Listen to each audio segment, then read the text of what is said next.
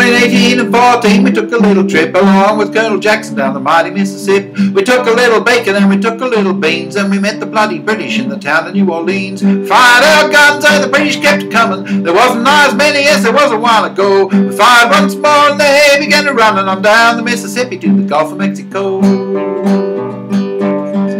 I seen Miles Jackson a walking down the street and a talking to a pirate by the name of Jean Lafitte. He gave Jean a drink that he brought from Tennessee, and the pirate he'd help us drive the British to the sea.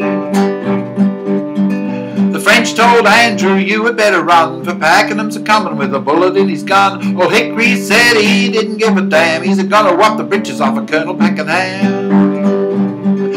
Fired our guns and the British kept it coming. There wasn't as many as there was a while ago. We fired once more and they began to run on down the Mississippi to the Gulf of Mexico. Well, we looked down the river and we see the British come, and there must have been a hundred of them beating on the drum. They stepped so high and they made the bugles ring, while we stood behind our cotton bales and didn't say a thing. Old Hickory said we could take 'em by surprise if we didn't fire a musket till we looked 'em in the eyes. We held our fire till we see their faces well, then we opened up our squirrel guns and really gave 'em hell.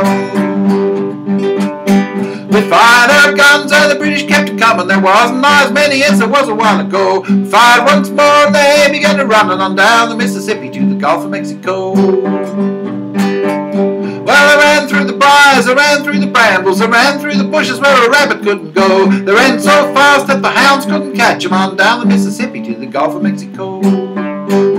Well, we fired our cannons till the barrels melted down. So we grabbed an alligator and we fought another round. We filled his head with minie balls and powdered his behind. When we touched the powder off, the gator lost his mind. They lost their pants and their pretty shiny coats, and their tails was all showing like a bunch of billy goats. They ran down the river with their tongues hanging out, and they said they got a licking, which there wasn't any doubt.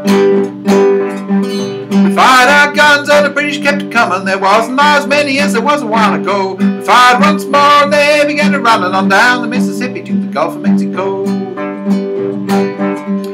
We marched back to town in our dirty ragged pants and we danced all night with them pretty girls from France. We couldn't understand them, but they had the sweetest charms. We understood them better when we got them in our arms.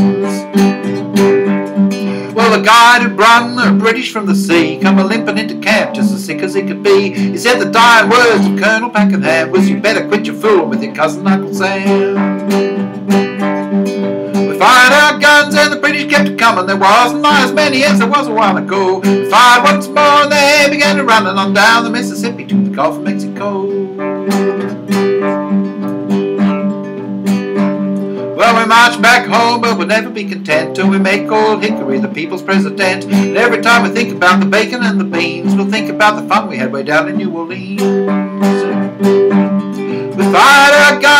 British kept coming. There wasn't as many as there was a while ago. Five months more they began to run on down the Mississippi to the Gulf of Mexico. Well, they ran through the briars and they ran through the brambles. They ran through the bushes where a rabbit couldn't go. They ran so fast that the hounds couldn't catch 'em on down the Mississippi to the Gulf of Mexico.